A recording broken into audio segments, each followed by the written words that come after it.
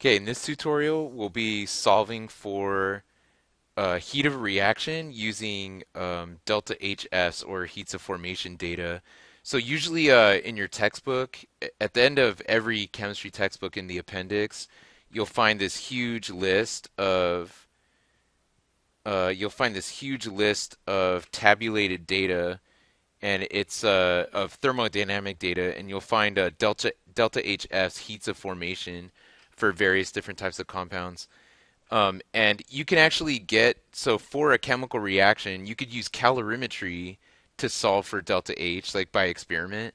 Or if you looked up um, delta HF data for everything that shows up in a reaction, so let's say you have A plus B creates C plus D, um, you could find every, like, there's a delta HF value for everything here, C, D, B, and A and then there's a formula you can use to get the delta H for this reaction.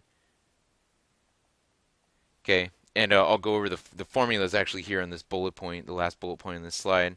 So um, you just look up uh, all the delta H F data for each individual reactant and product. Okay, and then use the mole amounts here. So we'll call this X, Y, or actually W, X, Y, and Z. Okay, and then you just multiply these mole amounts by each one, and then you plug it into this formula. Okay, um, so let's go over uh, let's go over an example. So it's it's the uh, sigma, meaning the sum of. So if I if I were to use this equation up here, it would be uh, the sum of um, y time. Let's not let's not do that actually. So uh, let, us just go straight into a problem. One very quick note here before we do the problem is uh, heats of formation is zero for elements in their most stable form. So for example, and this is actually related to the previous tutorial, if carbon is graphite and solid, if if you see this uh, graphite comma solid, the heat of formation for this substance the heat of formation for this substance is zero. Okay, so you will not find this value in the appendix because it's zero. Everyone knows it's zero, so they don't list it as zero. Um, the diatomic gases, okay, so like this this one especially is really common. Okay, oxygen, O2. This one is really common, okay, because it's it's everywhere in chemical reactions, and that delta HF um, heat of formation is also zero. Okay, another example is like if you had um, liquid iron, that would definitely have a heat of formation. Okay, but um, solid Fe does not, so the heat of formation of solid Fe would, would be zero. Okay, so let's go into a problem here. Um, so it says calculate delta H reaction for the combustion of glycine. So you look at some table data and you find the uh, heat of formations for everything that's here. So we have one, two, three, four, five things. And so um, glycine, this would be negative 532.9.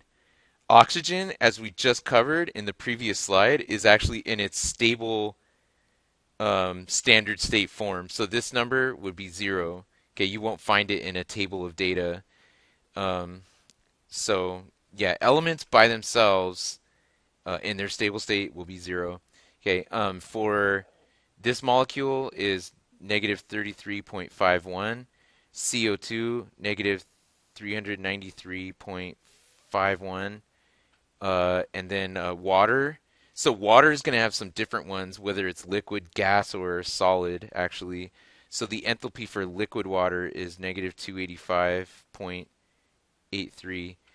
Okay, and so plugging these numbers in, uh, I get the following. So um, I like to use, uh, so delta H RXN equals sigma, uh, the, the delta H of the uh, products, okay, minus the sum of the mole amounts of every heat of formation of the reactants.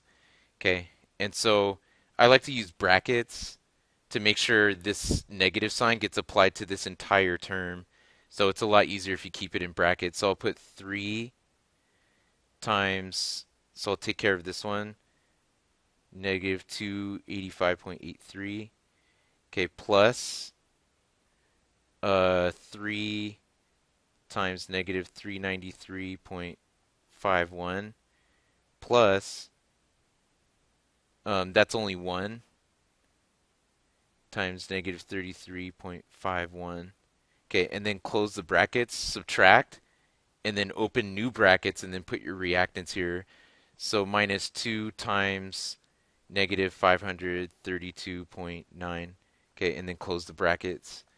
Okay, you could you should be able to enter this all in one shot in your calculator. Uh, for sig figs, I like to just look at the decimal points since you're adding these, and your lowest decimal point is one, so your final answer should have one decimal point.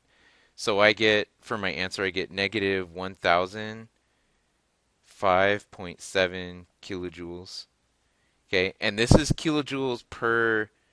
Uh, this should actually be per mole of reaction. So every time this reaction happens, as written, okay, then it's uh, this is how much heat is released.